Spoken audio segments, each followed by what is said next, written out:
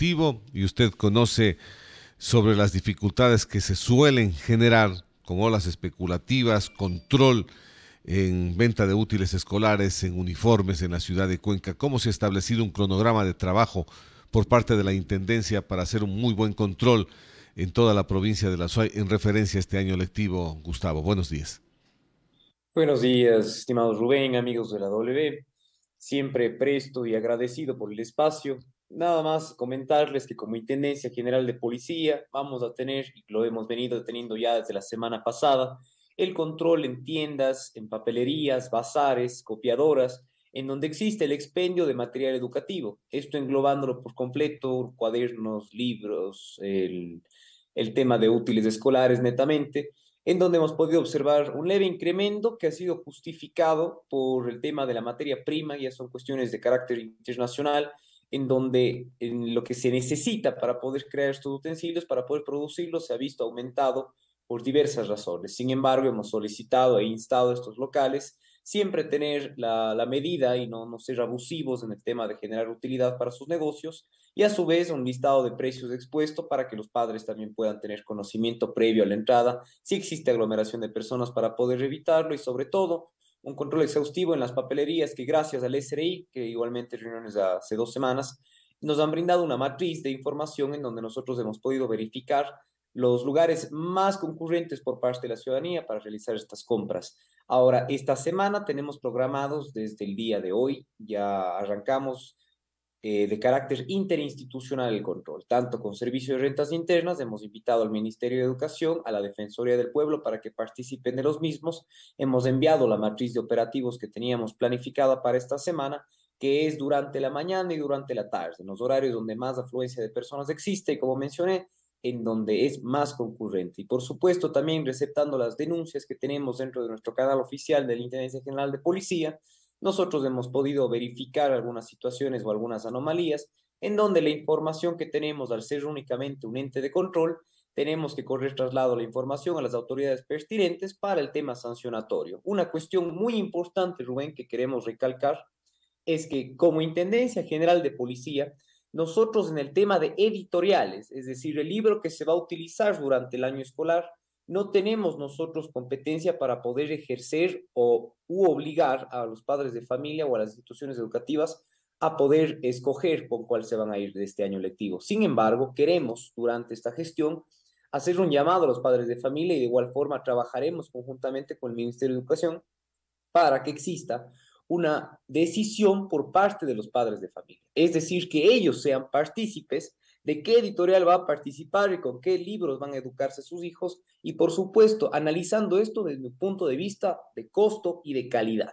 Entendamos que libros que superan hasta los 300 dólares por estudiante suelen haber listados donde personas que tienen dos, tres hijos, no existe un tipo de descuento, nada, nada, nada parecido, y existe un perjuicio gigante hacia la ciudadanía, hacia el bolsillo de los padres de familia, en donde lastimosamente las herramientas jurídicas que poseo como intendente me limitan a hacer ese trabajo que quisiera hacerlo, sin embargo, debo buscar la forma de poder brindarle una solución a la ciudadanía.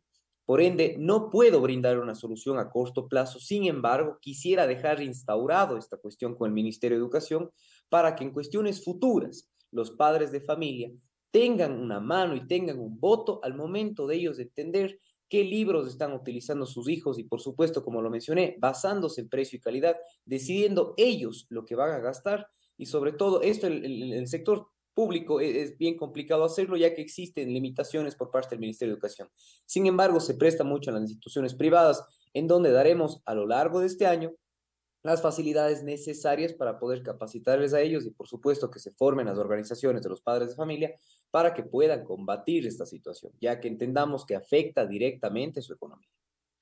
Usted ha, hecho una, una, puntualización bastante importante y de hecho aquí en este medio de comunicación hemos recibido varias denuncias porque como ya estamos próximos a la apertura de este año lectivo, hay padres de familia que, como usted bien lo menciona, Gustavo, han tenido que ir a comprar textos y valores en textos extremadamente altos, muy altos. Usted mencionaba una cantidad alta como 300 dólares, cierto es.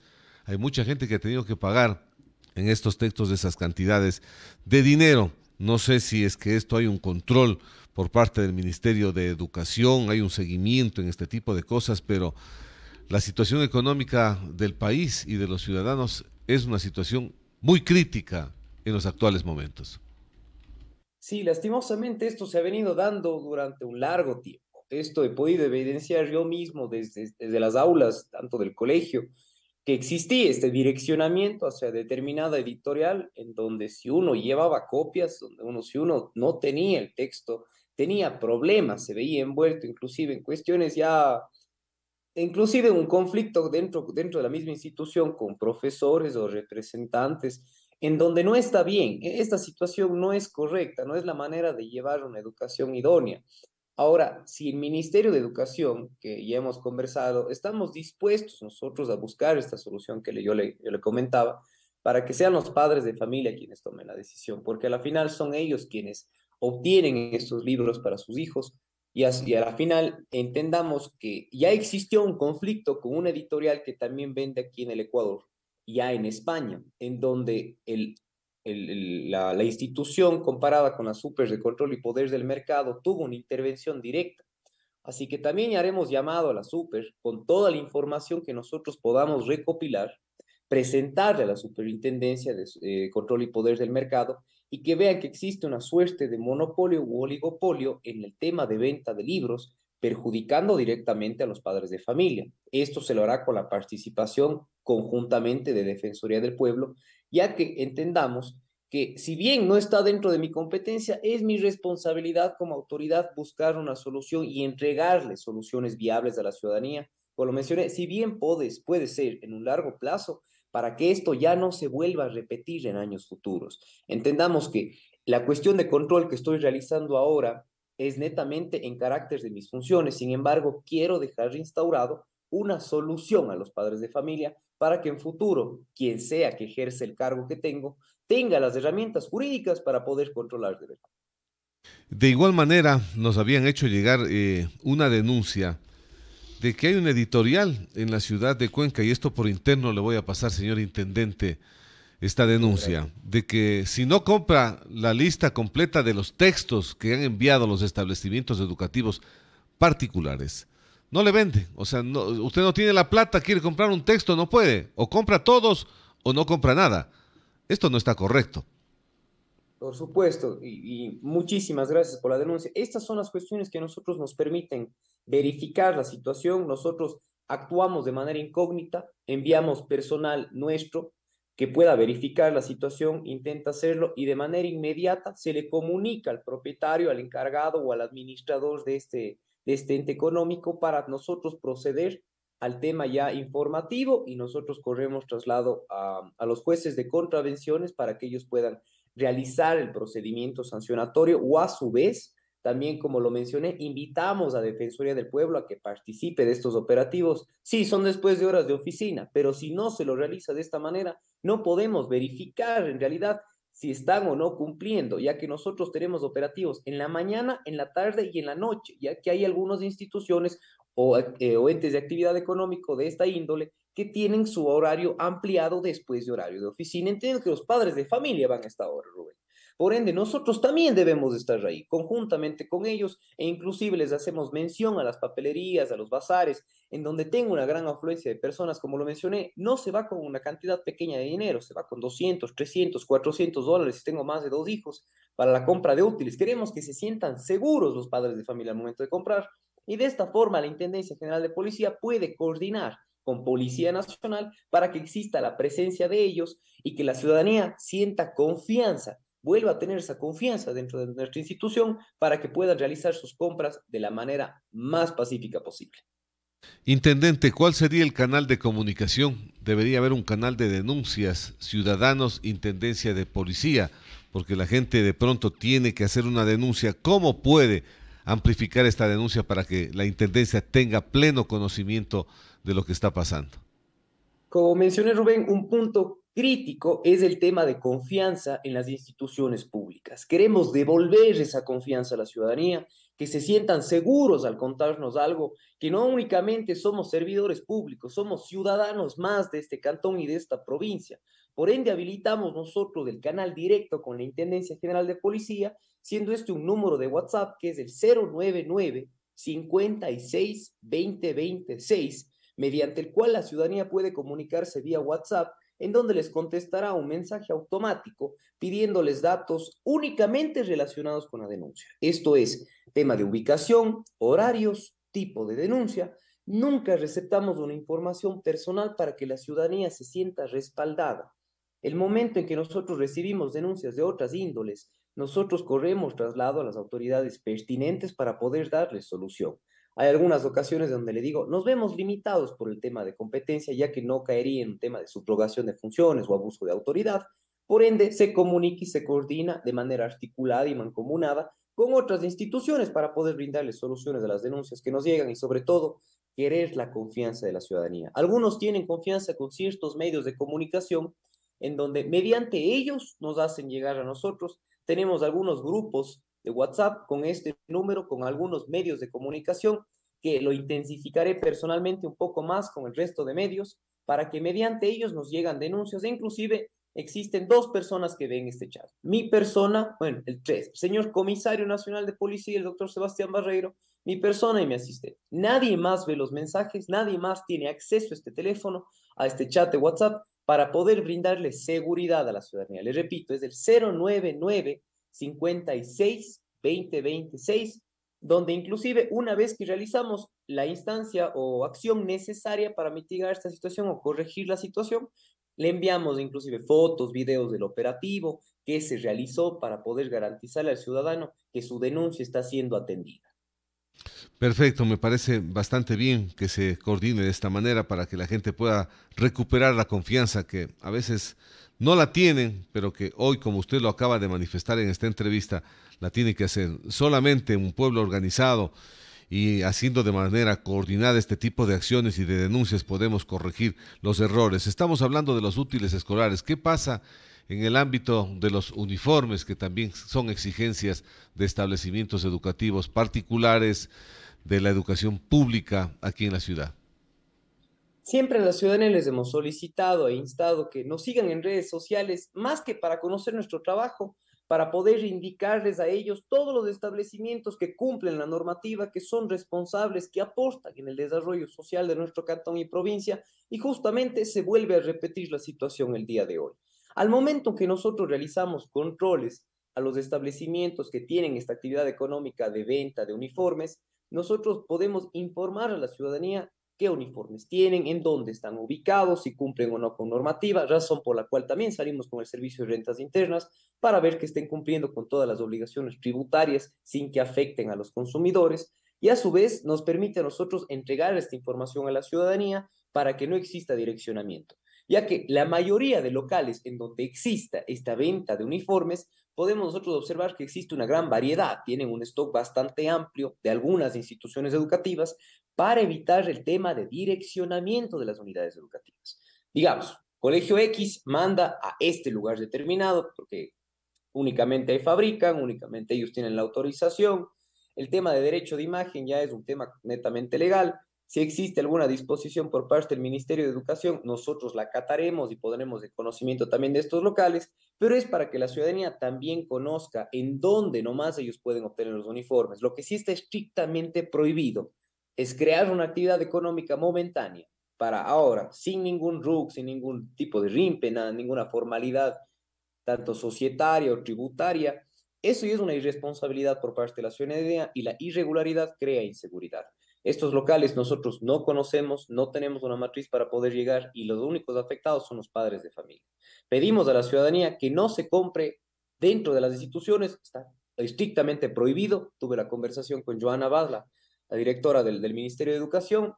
Joana y yo conversamos un, un momento para poder delimitar qué acciones podemos tomar de las diferentes aristas que nosotros tenemos de este momento complejo por el regreso a clases sin embargo, los temas de seguridad, temas de control a uniformes y el tema de seguridad ciudadana está siendo tratado ya desde Gobernación de la SUAY, Tendencia de Policía, Ministerio de Educación, Policía Nacional, conjuntamente con la Corporación Municipal y con el Servicio de Rentas Internas. Lo, el único afán que tenemos como autoridades es que la ciudadanía vuelva a tener confianza, se sienta segura y sobre todo que nos comuniquen a nosotros. Sin una comunicación adecuada, nosotros no conocemos sobre algunas situaciones que puedan presentarse.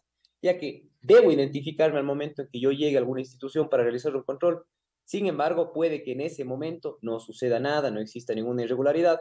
Por ende, nosotros eh, constatamos esta información que nos llega mediante denuncias de otra forma, como lo dije, una manera más sigilosa, mucho más investigativa, mucho más inteligente, para que sepa la ciudadanía que nuestro trabajo está siendo realizado de la mejor manera. Intendente, eh, hay una pregunta también que nos, que nos hacen a nuestro medio de comunicación. Hay establecimientos educativos que en el momento de la matrícula y posteriormente ya en el requerimiento de los útiles escolares le dicen y le ponen una nota en la cual usted puede ir a comprar en tales lugares, en tales establecimientos, los útiles o los libros. ¿Esto está correcto? El tema del direccionamiento está estrictamente prohibido, Rubén. Por eso les decimos, el día, esta semana nada más, vamos a, tenemos una matriz programada para 39 locales un poco, muy, un poco grandes, eh, esto por la, por la actividad económica que ejercen y por ventaja el SRI que tiene esta, esta información que nosotros podemos acceder mediante cooperación interinstitucional. Sin embargo, queremos que la ciudadanía también sepa que hay más lugares donde comprar. No puedo yo direccionarle a un ciudadano siendo una unidad educativa a determinado local porque van a dar un descuento o algo. Sigue siendo direccionamiento. Y nosotros comprobamos también el tema de descuentos, que no existe una publicidad engañosa. Fuimos un poco más allá. También el tema de útiles escolares no se limita en cuadernos, en lápices, esferos, pinturas, uno en este momento, en, la actualidad en que vivimos, se necesitan periféricos como son computadoras, impresoras, parlantes, micrófonos, audífonos. Por ende, toda esta situación está siendo vigilada. No hemos tenido la, directriz por parte de la Dirección de Orden y Control Público que nos emite a nosotros para poder ser competentes en el tema de, de, control. Sin embargo, hemos tomado la decisión porque creemos necesaria esta, esta, esta seguridad para que no exista el tema de abuso ya que se entiende que hay, existe una venta bastante fuerte de estos insumos en esta época del año. Sin embargo, para que no exista y evitemos publicidad engañosa y hacemos el llamado a los locales que se eviten problemas, porque los controles ya se han venido dando desde la semana, bueno, prácticamente dos semanas ya desde esta situación.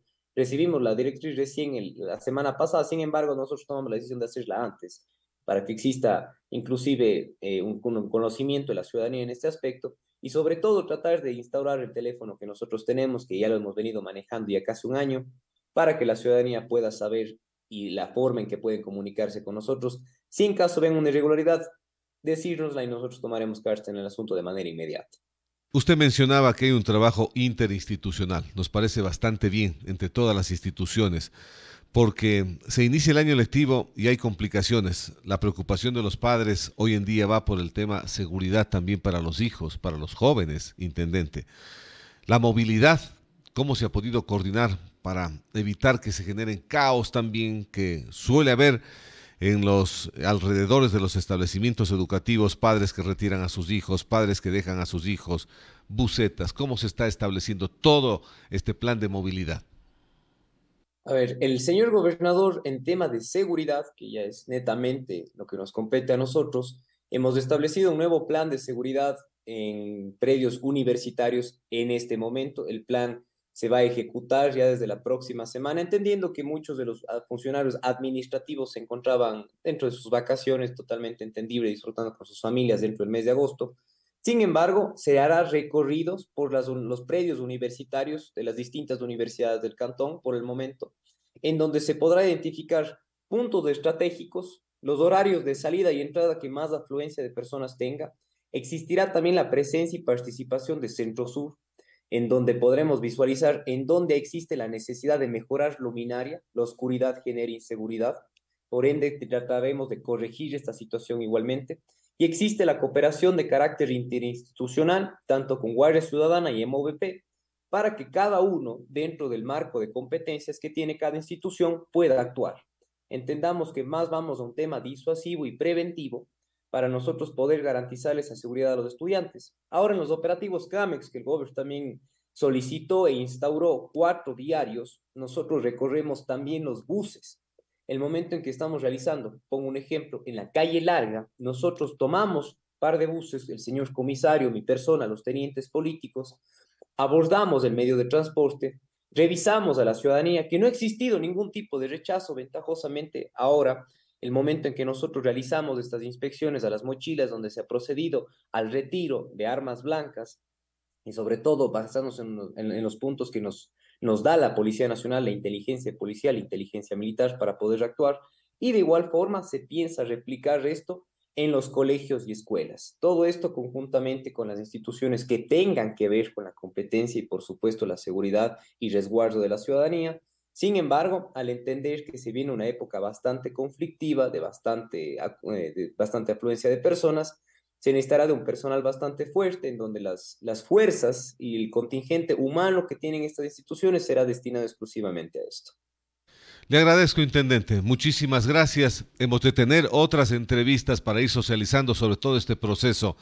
Siempre es engorroso y es problemático los inicios de clases hasta poner en orden la casa y las cosas que se vayan regulando y la importancia de mantener informada a la población para ir solventando los problemas que se vayan presentando. Le agradezco, Intendente, por siempre estar dispuesto a tener estas entrevistas en nuestro medio de comunicación. Buenos días. A usted, Rubén, muchísimas gracias y un excelente día a todos. De igual manera, gracias a Gustavo Toledo, intendente de policía de la provincia de La Suay. Siete de